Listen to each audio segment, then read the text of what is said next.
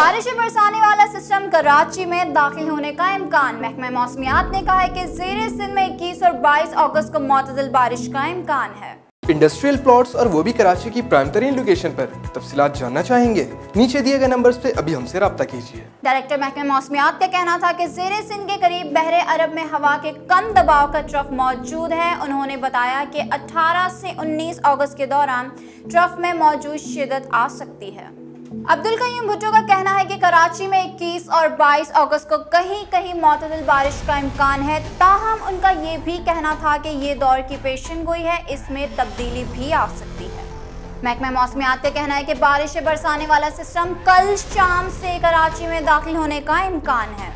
महकमा मौसमियात के मुताबिक कराची में आज मतला बर आलूद रहेगा। कराची का ज़्यादा से ज़्यादा दर्जा हरारत 37 सेंटीग्रेड तक जा सकता है। आज और कल सुबह और शाम के औकात में हल्की बारिश और बूंदाबांदी की मतवा है। बदीन थर पारकर, नगर पारकर, उमरकोट, ठट्ठा, शहीद बेनजीराबाद और सखर में बारिश होगी।